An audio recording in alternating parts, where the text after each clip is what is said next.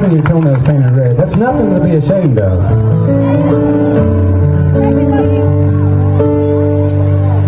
This next song, um, I'll never forget being out here in California about nine nine years ago, and I was in my hotel room after a show, and I called home, and um, I was talking to my wife Lori and my son Rhett at the time. It was just Rhett. Now we have two little girls that followed him, but uh, four years old, and I'll never forget.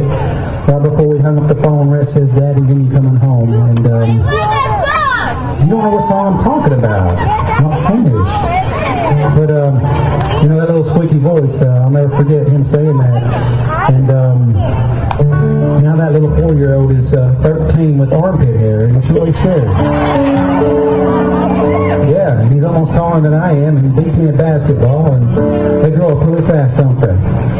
But you know the thing about this song is that. Um, you know, we lived it every day on the road in, our job that we, that we do and what we do now. But I know there's a lot of other families who go through the same situation that uh, have to provide for their families and uh, have to be away from their families. So uh, to you, I want to send a song out to you and any of the men and women in the military that are fighting for freedom.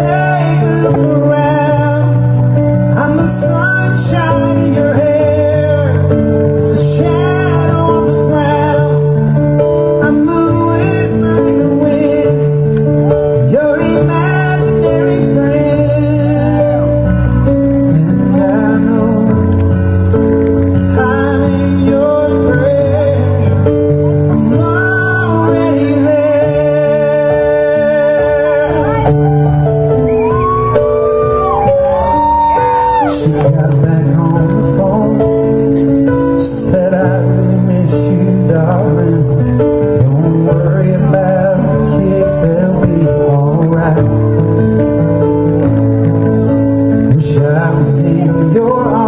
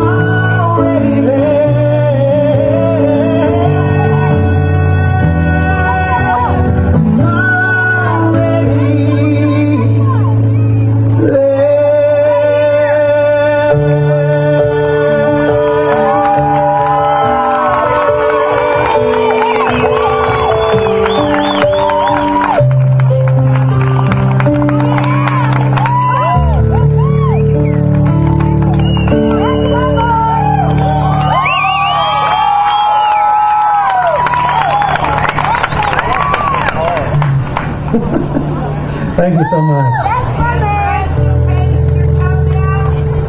No, they don't still paint my toenails because uh, the problem with my toenails is that, um, well, Molly, Molly's the one who likes to paint toenails in our house, and she's the one who does the, you know, she massages the feet and everything. But uh, when Molly gets to my feet, she says, "I don't think so."